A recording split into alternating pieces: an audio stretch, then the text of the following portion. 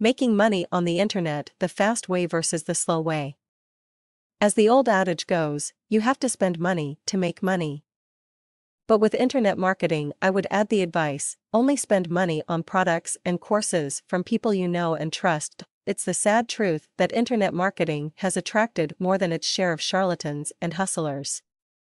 It's fast, essentially anonymous and lucrative, payment is electronic and instant, and while everybody offers an ironclad 100% no questions asked money back guarantee, good luck trying to collect, still, there also are many good and thoughtful people on the web who genuinely want to help other people succeed.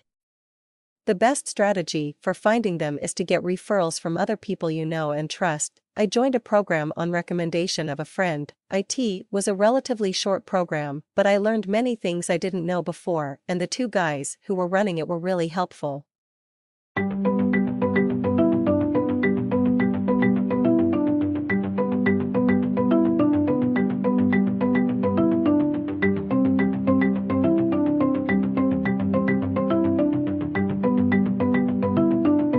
Soon, your website will be flooded with highly motivated buyers, and your products will be flying out the door, or at least over your internet connection. And hopefully, the money you spend on marketing is less than the revenue you received from your sales. The slow way is the route most people like me take.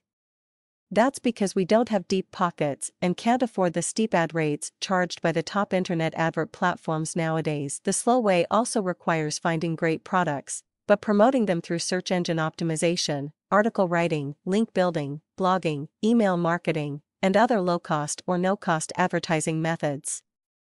While these techniques may be slower to show results, because your investment is very low, or nothing, your profit margin is much higher. Plus, believe it or not, the big search engines like Google and Bing give more value to websites that are organically marketed, rather than rely on commercially driven traffic. So the longevity of your site is much better compared to a paid traffic site, which tends to dry up the moment you turn off the advert spigot. So my recommendation is that you learn all of the ways by investing in good and reliable training that doesn't cost you an arm and a leg.